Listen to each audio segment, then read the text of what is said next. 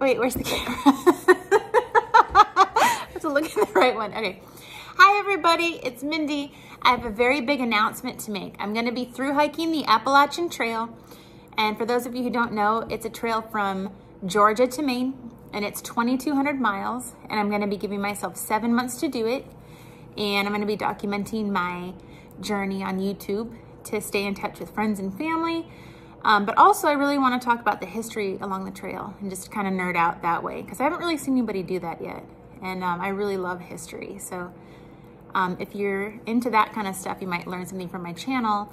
Um, but you won't learn anything about backpacking because I've never backpacked. So, and I haven't even tried out my gear.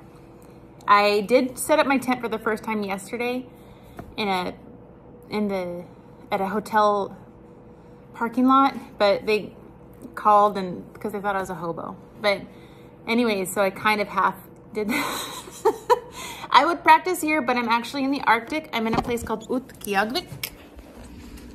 And this is my view.